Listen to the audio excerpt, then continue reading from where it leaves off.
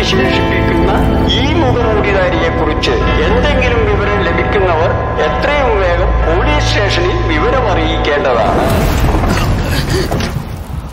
അതെന്താണ് സുനാമി?